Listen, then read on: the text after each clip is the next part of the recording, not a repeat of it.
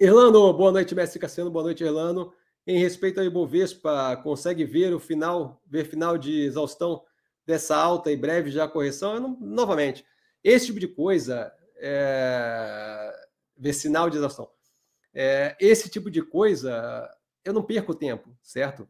É, não, não faz sentido ficar olhando para o Ibovespa. O Ibovespa é uma cesta de trocentos ativos, onde a, a, interação entre eles dá uma ideia de subida ou queda do índice. Aquilo dali é para dar uma noção, eu não, não entendo esse, essa fixação com o Ibovespa. Aquilo dali é para dar uma noção vaga de como está o mercado brasileiro. Olha, essas daqui são as X ações mais relevantes do mercado brasileiro, elas estão aqui porque elas negociam bastante, então são os ativos mais negociados do mercado brasileiro. Isso daqui meio que representa o mercado brasileiro. Aquilo dali é um número para dar uma noção do mercado brasileiro como um todo, para onde está indo. É possível que aquilo dali esteja no zero a zero e todo o setor de minério esteja derretendo e todo o resto da bolsa esteja subindo violentamente, de modo que equilibre o índice. Pode estar zero a zero porque está todo mundo parado, e pode estar zero a zero pelo contrário do que eu acabei de falar. É o mesmo número, supondo que esteja em 100 mil. 100 mil pode ser metade derretendo e a outra metade subindo violentamente. Pode ser o inverso, pode ser todo mundo parado. E o número é o mesmo. Aquele número não quer dizer lufas. Aquele número não quer dizer nada. É, a gente tem que sair do, do, do, do, do lugar comum de olhar para o número, porque todo mundo fala do número. Eu não sei dizer qual é o número que está o Ibovespa hoje. Esse é o nível do quão, do quão pouco aquilo importa. Eu não sei dizer eu, eu acredito que esteja entre 117 e 119, alguma coisa assim, mas eu não sei dizer. Eu vou ter que pegar aqui qual é o número que está o Ibovespa hoje. Esse é o nível do quanto aquilo é irrelevante. 118. Consideravelmente dentro do negócio. 118, 242. Tá? Aquilo dali é uma cesta onde todos os ativos são jogados no mesmo pacote, bate no liquidificador e sai um número no final. Aquele número quer dizer zero.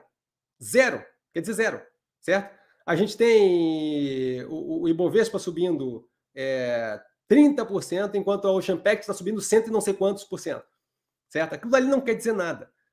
Tanto faz se o Ibovespa vai continuar subindo, se ele vai continuar estacionado, se ele vai parar, se ele vai beber uma cerveja no bar, tanto faz. O que faz diferença é cada um dos ativos do portfólio, como eles estão reagindo, para onde eles estão indo, como está o alinhamento para eles, o resto, o Ibovespa não faz diferença.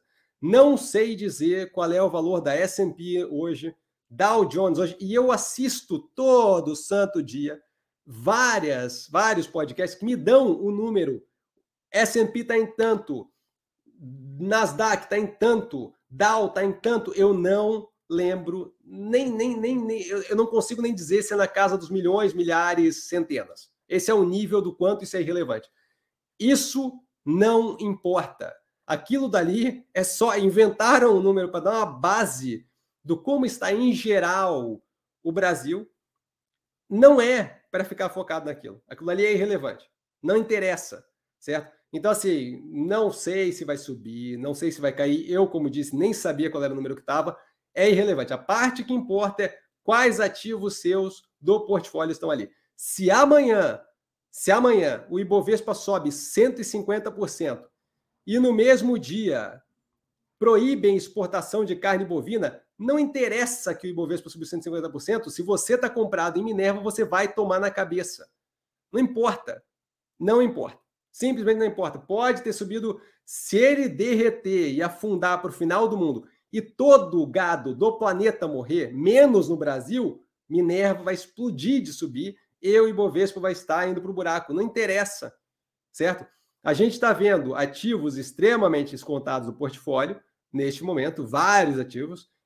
Banco do Brasil está batendo nos maiores preços em algum tempo, desde 2019, se não me engano. São os maiores preços que está batendo desde 2019.